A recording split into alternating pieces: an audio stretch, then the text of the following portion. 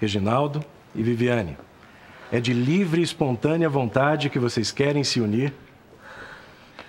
Sim. Se for do conhecimento de algum dos presentes, algo que impeça a realização deste casamento, que o diga agora.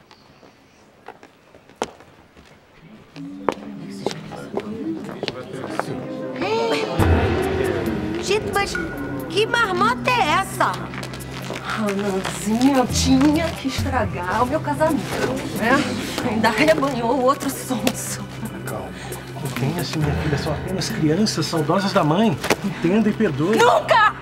São dois traidores desgraçados. E a mãe era uma otária, uma burra. Calma, Viviane, calma, você vai piorar as coisas assim, calma. Tira aquela foto dali! Alguém tira a foto, por favor. Não se atreva a se meter nisso. Você não vai esfregar essa lama de sem vergonhice na nossa cara.